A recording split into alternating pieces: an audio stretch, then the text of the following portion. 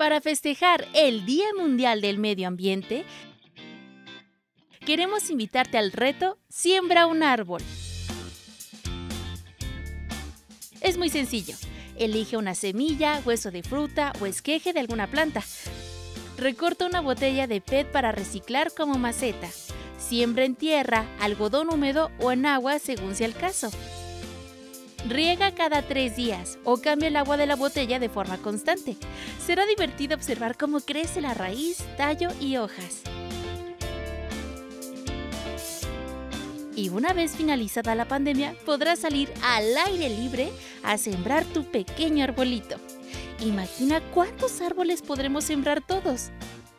Esa será nuestra pequeña pero masiva contribución al medio ambiente.